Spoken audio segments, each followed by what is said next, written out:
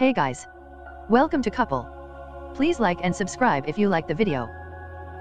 When BuzzFeed News reported earlier this year on dozens of suspicious financial transactions by Russian diplomats living in Washington, Kremlin officials objected with ferocity.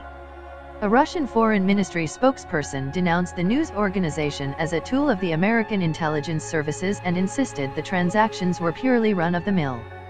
But new documents show that American bank examiners delved deeper into the embassy's financial activity than was previously known and reveal why they flagged two of the transactions as suspicious. The first, made just 10 days after the U.S. presidential election in 2016, was a $120,000 lump sum check to then Ambassador Sergei Kislyak that was twice as large as any payment he'd received in the previous two years.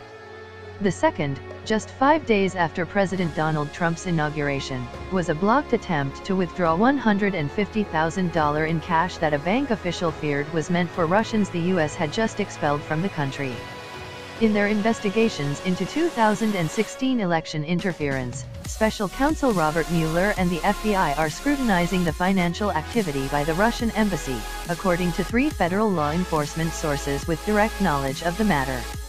Last November, BuzzFeed News began revealing suspicious embassy transactions, including a $29,000 wire transfer to the embassy's U.S. bank account to finance election campaign of 2016, $325,000 in payments to the Russian Cultural Center in Washington, and $2.4 million paid to small home improvement companies controlled by a Russian immigrant living in Virginia.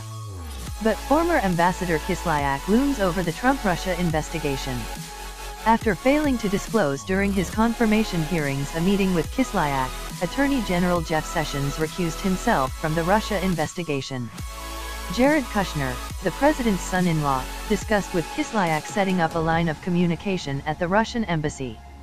And Michael Flynn, the former national security advisor, pleaded guilty last year to lying to the FBI about multiple calls to Kislyak during the transition.